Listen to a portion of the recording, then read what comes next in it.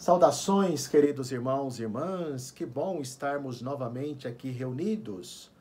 Hoje nós celebramos a quarta-feira da quinta semana da quaresma.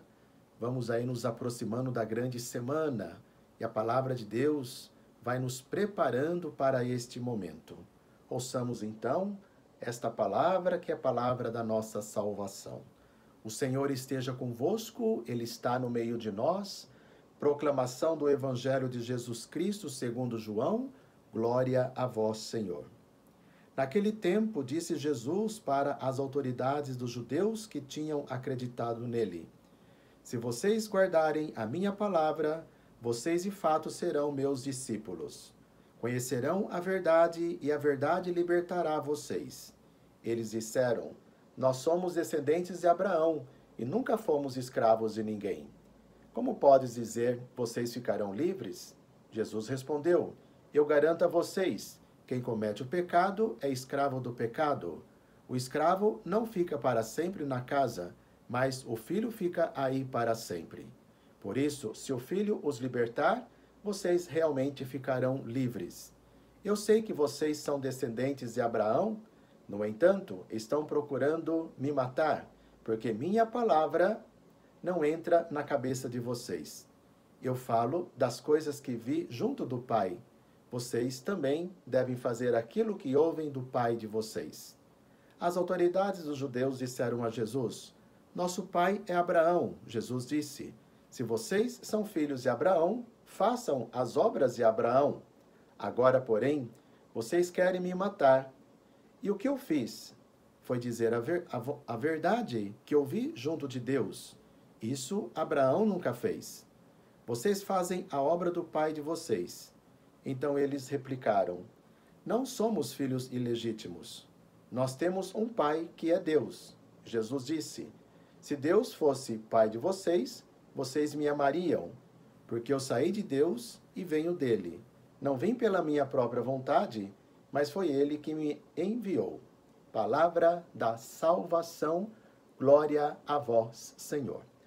Caríssimos irmãos e irmãs, como não acolher esta palavra como palavra da nossa salvação? Ouvindo este evangelho, nós aprendemos que a verdade que nos liberta é aceitar a vida nova trazida por Jesus, que relativiza tudo aquilo que antes parecia absoluto: riqueza, poder, ideias, estruturas, a liberdade só é possível quando se rompe com uma ordem injusta que impede a experiência do amor de Deus através do amor do homem.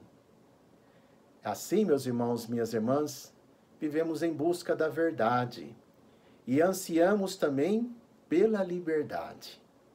A palavra de Deus é a verdade, pois é ela quem nos liberta de tudo aquilo que o inimigo vem armando para nós, para tirar de nós a nossa identidade de filhos e filhas de Deus.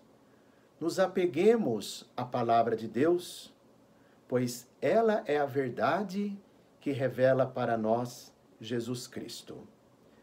Eu quero mais uma vez aqui, aproveitando esse momento breve da partilha de Deus, estamos fazendo todos os dias, de modo especial nesse tempo de quarentena, por conta do Covid-19, do coronavírus, a gente não tem se encontrado, né? Muito difícil agora os nossos encontros, a não ser por aqui, pelas mídias sociais. Mas eu quero mandar um abraço muito fraterno às nossas comunidades, aqui da paróquia do Sagrado Coração de Jesus, a comunidade São Bento, a comunidade São Pedro, Santa Teresinha e é lógico também a nossa matriz do Sagrado Coração de Jesus, aos nossos diversos agentes de pastoral, animadores, coordenadores, catequistas, todo o povo de Deus que vem nos acompanhando. Não percamos a nossa esperança. Vamos seguir em frente. Eu tenho certeza que muito brevemente tudo isso vai passar e nós vamos poder continuar os trabalhos juntos de nossas comunidades.